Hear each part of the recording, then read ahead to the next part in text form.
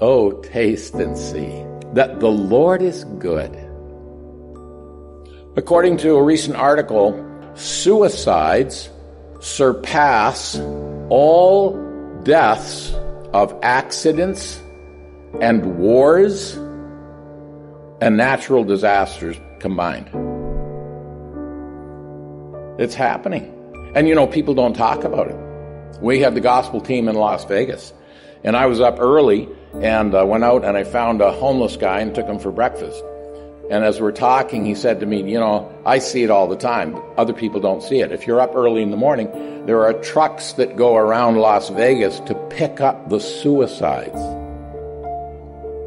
It's a sad world. And anybody who thinks is driven to one of two conclusions there's no hope, or only God can give us hope. Those are the only two options. And Solomon's argument is it's a bad idea to try and find purpose and satisfaction in a closed system. These guys, they get a yacht. I build a yacht. I think I'll have a 100 foot yacht. Oh, a 200 foot yacht. Uh, we can't just have one helicopter pad. We have to have three helicopter pads.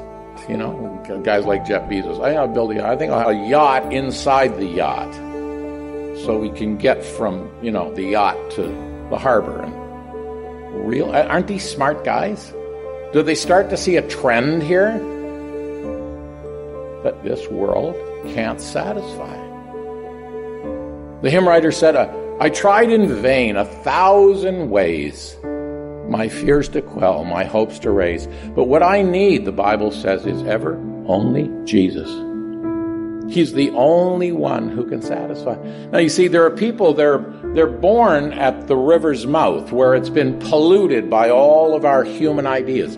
And they've convinced themselves that the polluted water in the river is actually latte with the foam on it. And they keep drinking this stuff. And they wonder why they're not happy. And then one day somebody shows up and says, Hey, everybody, I've been to the source. I've been to the fountainhead. It's pure and clean and refreshing. It's wonderful. Come on with me to the fountainhead.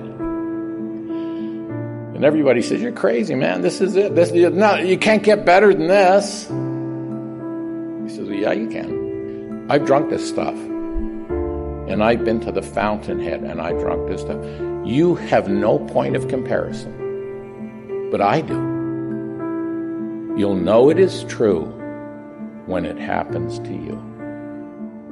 Oh, taste and see that the Lord is good. Happy is the one who trusts in him.